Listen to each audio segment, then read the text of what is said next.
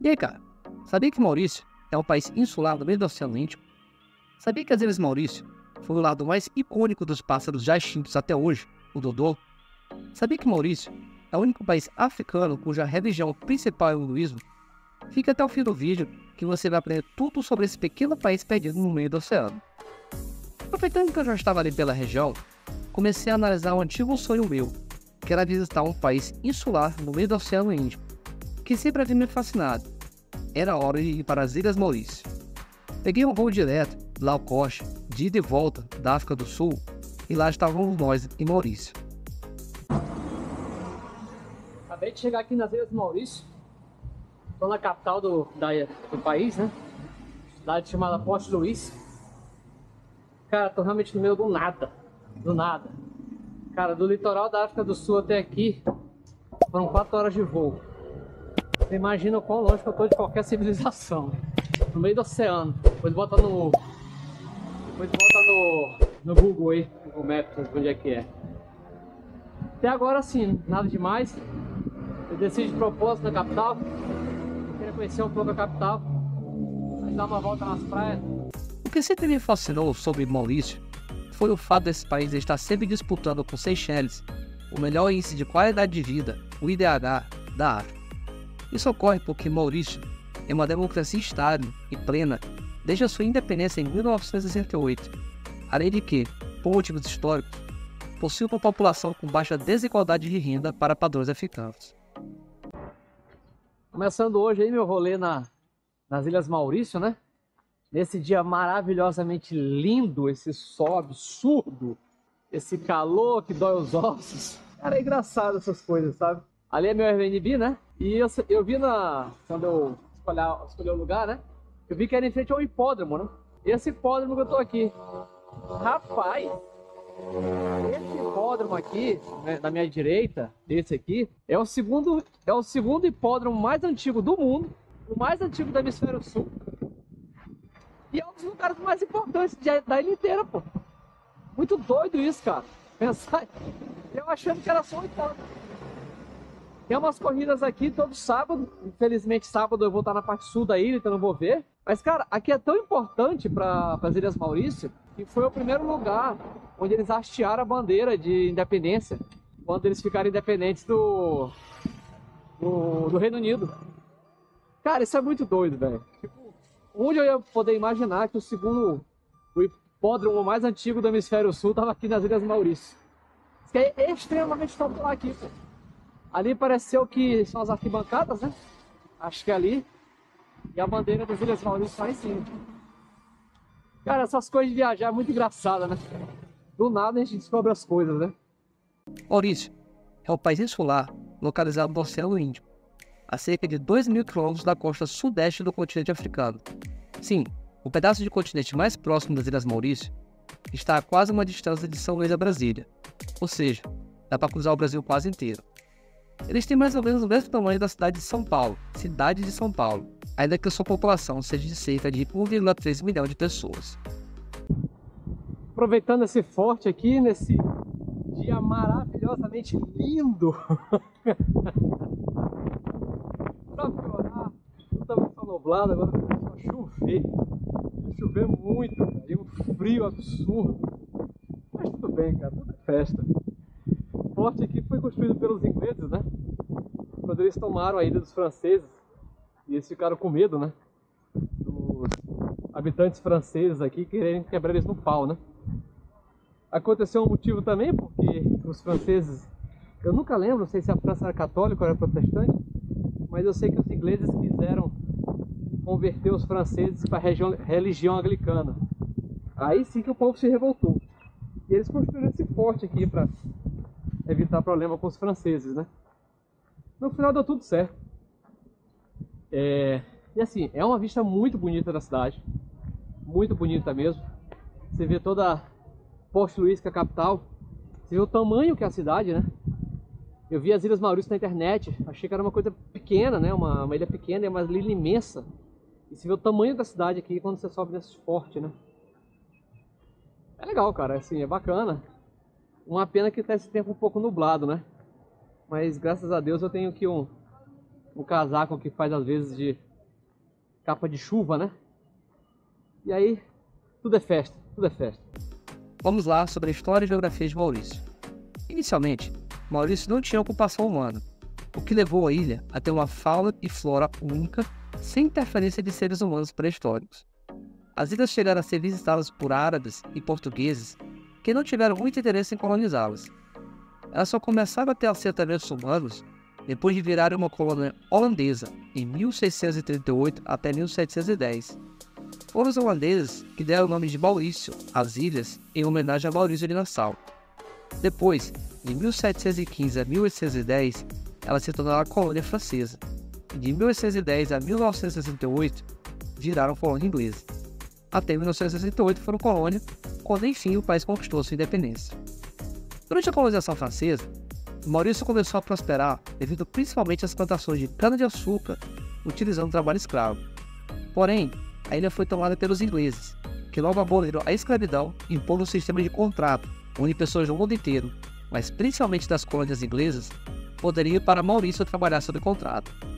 Os contratantes pagavam sua viagem, você tinha direito a comida e moradia, um pequeno salário, e depois de 5 anos de trabalho, você poderia mudar de emprego ou simplesmente ir embora das Ilhas Maurício. Era algo semelhante ao que iria acontecer depois com a população de alemães e italianos que migraram ao Brasil. Cara, apesar da qualidade de vida dos contratados não ser das melhores, era uma perspectiva de vida muito melhor do que a que eles tinham nos países deles. No qual, uma pancada, principalmente da Índia, começou a emigrar para lá. Depois dos 5 anos de contrato, eles acabavam ficando por lá mesmo. Esses contratados são os ascendentes de 70% dos habitantes de Maurício, e um dos motivos de quase metade da ilha ser descendentes de indianos. Hoje, o ponto de estalagem onde os trabalhadores contratados chegaram é preservado e um dos lugares mais importantes para a história das Ilhas Maurício. Eu tô aqui no. Rapaz, alguma coisa GAT. Não consigo pronunciar esse nome não. Mas aqui era um lugar onde o... os imigrantes chegavam, né? trabalhadores por contrato. Chegavam exatamente naquele porto ali e eles ficavam aqui nessas hospedarias, né? Para poder fazer o desembaraço deles, né? Fazer a questão do registro, bater foto, enfim, essas coisas antes deles serem encaminhados para as plantações, né? O nome eu vou colocar depois lá, que é nome índio, eu não consigo falar. Aqui aparentemente é o lugar onde eles ficavam hospedados, né? Eles ficavam por dois dias aqui. Então assim, é um dos lugares mais preciosos, digamos assim, né, para as Ilhas Maurício, né? É que a imensa maioria da população descende desses trabalhadores com contrato que começaram depois que a escravidão foi abolida na ilha. É bem no centro da cidade, você vê, né? A cidade realmente cresceu do lado dele, do lado desse gate. Você vê ali, ó, a ostentação, o barulho de carro. Isso aqui aparentemente é uma das principais avenidas de Maurício. Devido a esse tanto de colonização diferente, a população da ilha que é multiétnica, multireligiosa, multicultural e multilingüe. O governo é parlamentarista e o país está entre os melhores classificados em termos de democracia, liberdade econômica e política, não só da África como do mundo todo, estando em uma situação muito melhor que a do Brasil, diga-se de passagem. Além disso, a ilha é famosa por ter sido o habitat do Dodô, uma ave extinta devido à intervenção humana logo após o início da colonização. Inclusive o nome Dodô vem da palavra doido em português, já que os portugueses, quando chegaram na ilha, viram aquele bicho grande e desengonçado e resolveram chamar ele de doido, Dodô. Estou aqui no Museu de História Natural do Maurício, né, das Ilhas Maurício, e aqui tem uma seção inteira destinada ao pássaro Dodô, porque todo mundo um dia já ouviu falar desse pássaro, né? Ele foi extinto e é um pássaro que só tinha aqui nas Ilhas Maurício. Por isso que ele é o símbolo da, da ilha, né? Então você vai ver o Dodô na, no selo do país, nas notas, no nota de dinheiro, em tudo, né? É engraçado porque o nome dele, Dodô, vem do português, cara, doido. Vem da palavra doido em português portugueses viram esse bicho pela primeira vez, se espantaram, achavam que ele era meio doido. Botaram o nome de doido. Né? Ficou doido Dodô. O nome virou Dodô. É o maior exemplo de. exemplo mais conhecido, né? De, de bicho que foi extinto pelo ser humano, né? porque foi extinto depois que os holandeses começaram a colonizar a ilha. Menos porque os holandeses comiam ele, porque, enfim, a carne dele era muito ruim. Os holandeses relatam que não gostavam de comer o dodô. Mas mais porque quando eles vieram para cá, eles trouxeram porcos, né, cachorro e principalmente os ratos que vieram para cá, para a ilha, trago junto com os navios, né? E aí esses animais, eles simplesmente destroçavam os ninhos do, do, do dodô. Os dodôs colocavam os ovos no chão. Eles não tinham predadores, né? Então acabou que eles destroçaram os dodôs e depois de 100 anos eles foram extintos da ilha. E é interessante é, que eles expõem, né? São os únicos fósseis de esqueletos de Dodô conhecidos, é, completos, né? na verdade. Você vai ter outros ossos de Dodô, mas esse aqui são as ossadas que são completas. Só tem aqui nas Ilhas Maurício.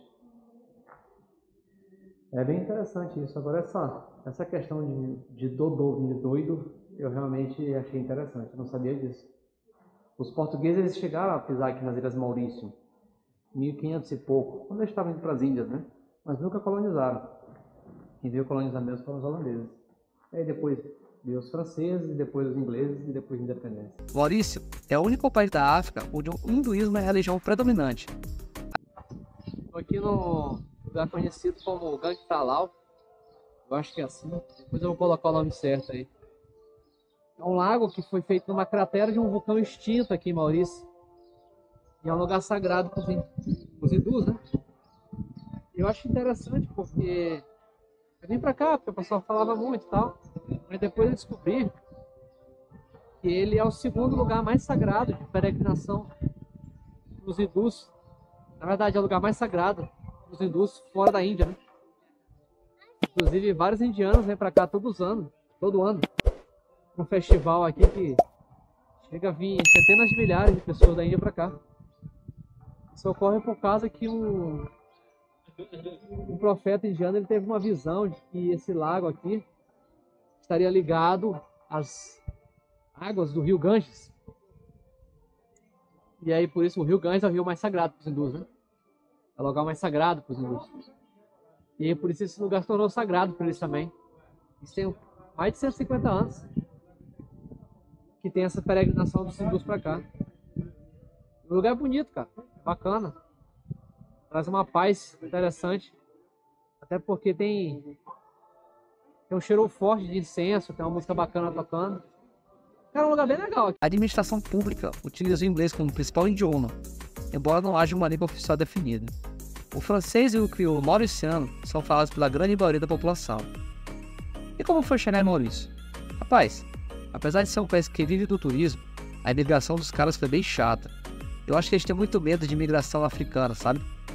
O tio ficou me perguntando onde eu ia, o que eu ia fazer, onde eu ia ficar, e o tio da migração não arredou o pé enquanto me deu o telefone de Maurício para ele. Não adiantou falar que eu não tinha, eu tive que dar o telefone do cara do Airbnb. Tranquilo, e eu peguei o táxi e fui pro meu Airbnb. E já começou a situação complicada. Meu irmão, Maurício, é muito caro. Eu gastei uma nota com esse táxi. Apesar de ser uma ilha pequena, Maurício é muito extensa. Do aeroporto, cara, até a capital da ilha foi quase uma hora de carro. Beautiful day. Pai, não tenho sorte mesmo. Achei que até chegou a fazer um sol hoje de manhã. Estou aqui numa das praias mais recomendadas de Maurício. É, chama Blue Bay. Uma das praias mais bonitas que tem aqui, mas olha o tempo. É interessante porque faz sol, faz chuva, faz sol, faz chuva. Tô com agasalho aqui que é uma capa de chuva ao mesmo tempo, né? Enfim, torcer para amanhã ter mais sorte, né? Porque hoje não deu. Eu fiquei hospedado no Airbnb que ficava de frente ao hipódromo. Hipódromo, onde ocorre corrida de cavalo. Beleza, eu não achei que era nada demais, né? Ah, é só um hipódromo. Rapaz, depois eu descobri que aquele era o hipódromo mais antigo do mundo em funcionamento e o hipódromo mais antigo do hemisfério sul. Ele é tão importante para Maurício que ele foi o primeiro lugar onde eles puseram a bandeira depois que o país ficou independente. Sim, eles gostam muito de corrida de cavalo, mas o esporte mais popular por lá, em Maurício, é, veja você, o futebol. Engraçado que essa preferência pelo futebol também se mostrava presente em outro país insulado índico que eu viajei antes, as Ilhas Maldivas. E cara, eles gostavam muito do futebol brasileiro. Voltando mostra ele. Ilhas Maurício. Até que fica assim um sol. Boa. Só chuva que tava dando. Foi legal. Eu fico com o barco só pra mim. Água gelada que só o diabo. Parece água do sul, parece água do Rio de Janeiro. Gelado que só o diabo. Mas foi legal. E eu botou um som infernal aqui no barco. Tomara que vocês estejam me ouvindo. Ah!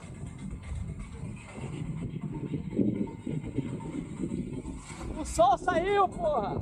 A população é bem educada, todo mundo parece ser muito bem. Eu vi poucas pessoas em situação de rua, não vi nenhum pedinte. Eles têm ensino público até ensino médio. Pro ensino superior, eles têm tipo o Enem, Enem, o Enem, que a gente tem aqui no Brasil. Esse Enem, ele é pra ilha inteira, ele serve para ranquear os estudantes.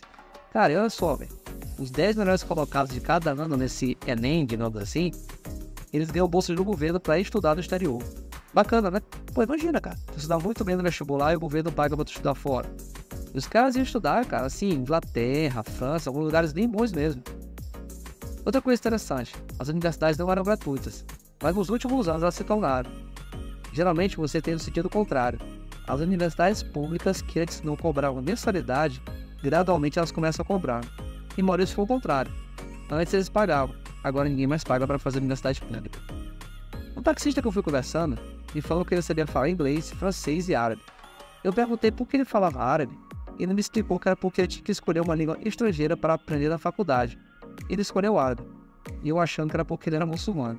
Simples assim, escolheu o que tinha que escolher. Fiquei pensando como o Maurício tem uma realidade parecida com a da ilha de São Luís. As ilhas têm quase a mesma área, quase a mesma população, mas Maurício é absurdamente mais envolvida. Uma última curiosidade sobre as Ilhas Maurício é que atualmente a língua portuguesa vem sendo promovida no país e é ensinada em algumas instituições porque eles querem atender as condições para o país alcançar uma de suas metas, que é fazer parte da comunidade dos países de língua portuguesa, a CPLP.